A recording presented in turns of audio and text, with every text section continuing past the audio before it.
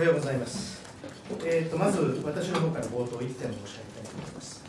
えー、電力需要の減少や、えー、自由化の進展の中、えー、福島港の一日も早い実現、えー、そして原発事故の反省を踏まえた安全・防災への取り組みなど、えー、我が国の、え、電力事業に直面する課題が多く、え、東電問題はいわばその縮図であります。東電改革と我が国の電力事業、原子力事業にかかる課題を解決すべく、2つの委員会を設置することといたしました。まず、東京電力の問題であります。1F 事故収束と、そして福島復興を成し遂げる、この原発事故は二度と起こさない、これらは震災後のエネルギー政策の原点であり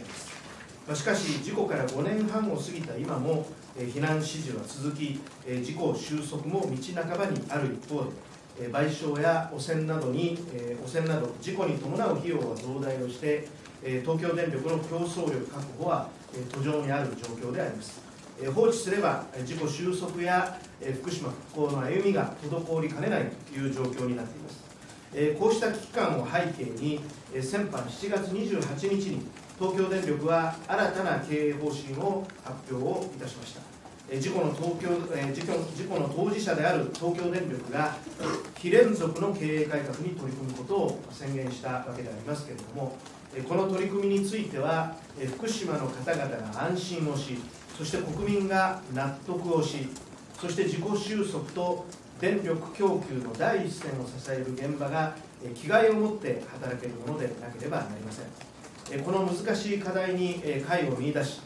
東電改革の具体策を検討するため東京電力改革 1F 問題委員会を設置をして来月初頭には検討を開始することといたします。次に電力システム改革であります。震災とその後の電力供給の逼迫をきっかけに戦後の電力事業の制度には広域融通の不備や料金水準の高騰といった課題が浮き彫りとなりました。これを解決すべく3段階の電力システム改革を進めて今年4月には小売全面自由化が開始をされまして既存電力同士の競争や新規参入の拡大など一定の効果が見え始めています。しかしアベノミクスの改革の柱である電力システム改革の果実を消費者に還元をするためにはさらなる総合的な改革を実行することが必要だと考えています。具体的にはまず競争活性化の鍵として現在既存の電力会社がほぼ独占的に保有をしているベースロード電源に新規参入者もアクセスできるよう措置をするということ。そして次に自由化の下でも安全防災廃炉事故収束 CO2 への対応再エネ拡大などの公益的な対応が促される仕組みを整備しなければなりません。このため総合資源エネルギー調査会のもとに電力システム改革貫徹のための政策小委員会を設けまして今月27日より検討を開始することといたしました。いずれもメンバーを含め詳細についてはこの後事務方より説明をさせていただきます。これまで東電問題や廃炉問題をめぐってあたかも経産省政府の方針が決定されたかのようなものも含めてさまざ、まな報道がありました。この東電や福島第一原発の問題は社会的関心が高く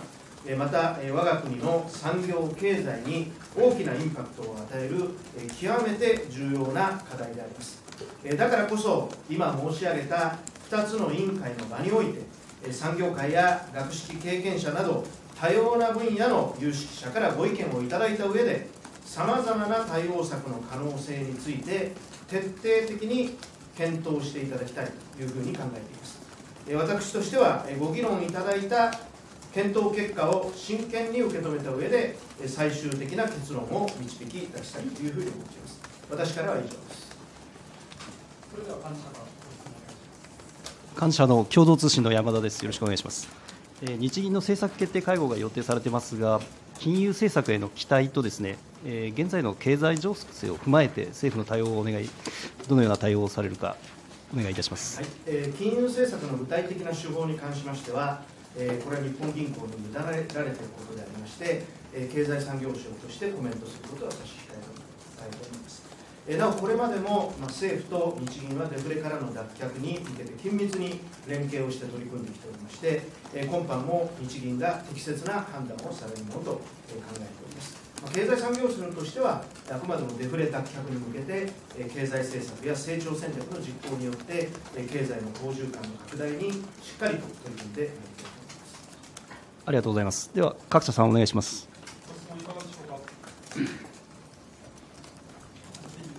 あの TBS の渡辺ですけれども、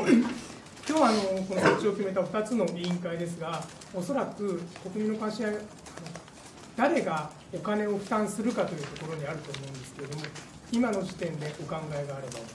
これはこの委員会でしっかりとご検討いただいた上で、最終的に判断したいというふうに思います。当然、誰がどう負担するのかということは非常に重要なテーマでありますから、この委員会で、専門家の皆さんあるいは各層の声を集約をしてですね一つのご議論をいただいてその結果を踏まえて最終的には私が判断をしていきたいというふうに思っております。NHK 大久保です。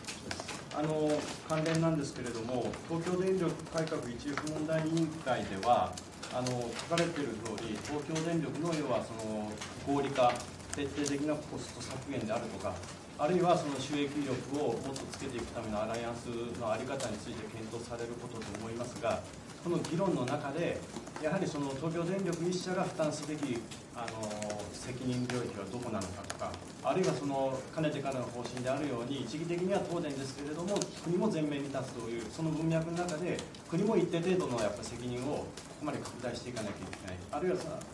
東電とその国の責任のその分担というか、そういったものも議論のテーマになりうるんでしょうか？まあ、これはもうありとあらゆる観点からご議論いただきたいと思います。まあ、今ご指摘のような、えー、まあ東電のまずやはり、えー、一義的には東電が責任を負わなければいけない、そして、えー、しかし国も前面に立つ、これはあの閣議決定されている内容でありますから、まあ、その前提に立ちながら、その範囲の中で、当然、まあ、負担能力の問題もあると思いますし、あるいは国民の納得という問題もあると思いますし、そういったことを総合的にこの委員会でご議論いただきたい、まあ、そういうメンバーに集まっていただいているというふうに思っております。